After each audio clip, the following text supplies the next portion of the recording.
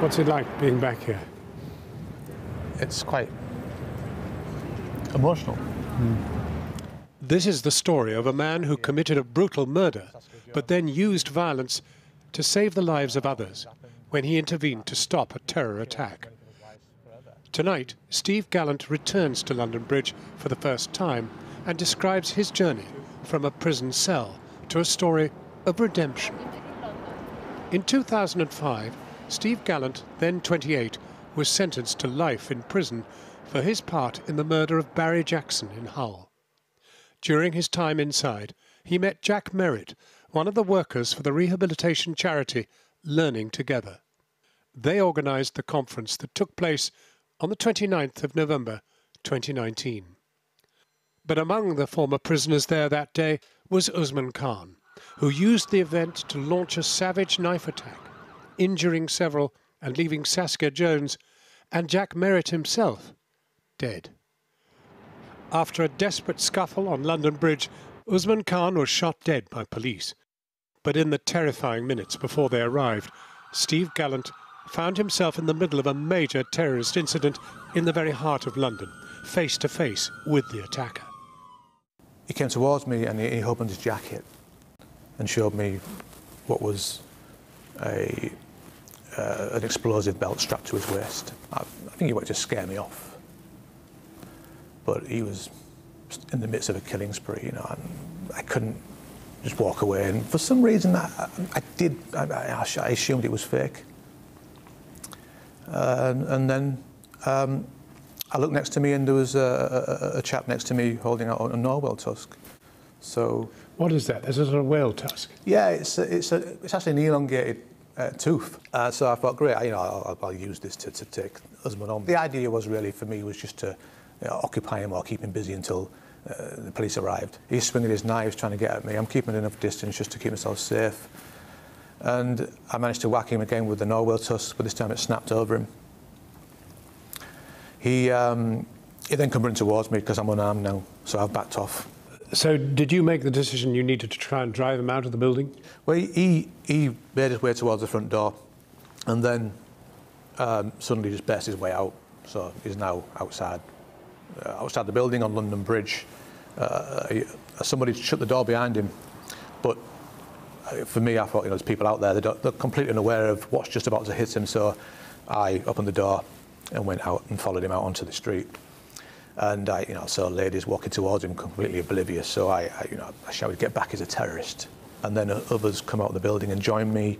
Um, there's John Crilly with the fire extinguisher, uh, and Darren Frost with another narwhal tusk. Uh, and then they gave cheers to Usman Khan as he ran off down towards London Bridge. So I followed suit.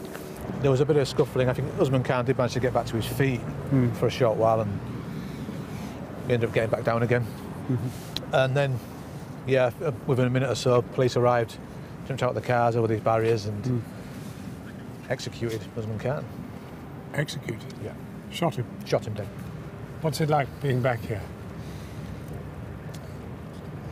It's quite emotional. Jack Merritt lost his life here. Saskia Jones. Uh, a lot of things happened that you know changed many people's lives forever.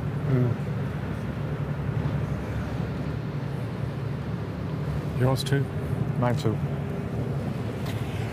I'm lost in admiration for the, the bravery of uh, Stephen Gallant and indeed others who went to the assistance of members of the public uh, on that day and, and fought a, uh, a very determined terrorist. It's not every day that a Prime Minister stands up at the dispatch box and praises a prisoner.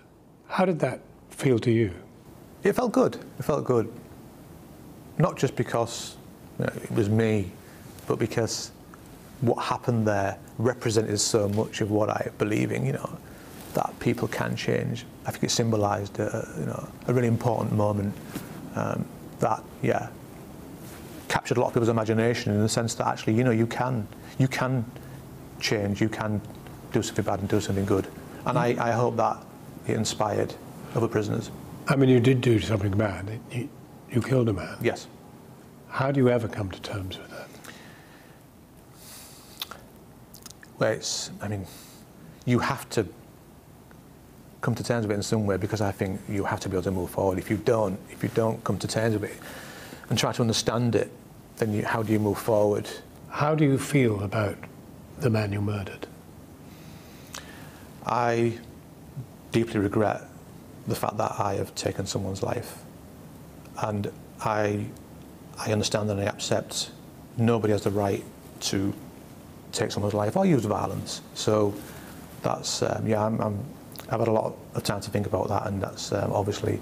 Um, it's so extraordinary because you are, in a sense, and not many people want to, to accept this, you are proof that certainly in some cases prison works. Prison can work, but I think it's got to come from within. If you don't want to change, nothing can change you. What decided you in prison that you wanted to change? The impact, the collective impact of being sent to prison and seeing everybody devastated had a profound effect on me very early, very early in my sentence. And it was that what made me make a, firm decision to change, educate myself, and uh, never use violence again. It had obviously worked enough for you to be in the Fishmongers Hall at this event, which was the first time you'd been out of prison at all, right? That was my first day out. So I previously I'd been in, in, in close conditions for 14 and a half years. And talk to me about Jack Merritt, who was your kind of mentor, right? Jack was amazing, you know, very intelligent, very caring. You know, this guy was passionate about his, his role and, you know, he had such a profound effect on so many people in the prison system. So not only is it sad that he was murdered in that way, in that terrible way, and, and of course Saskia Jones too, but he had affected positively so many people's lives in the system and the, the work that he could have continued doing, you know, it's such a shame that somebody so powerful at, at such a young age uh, has been taken from us. He died and you lived. Yeah.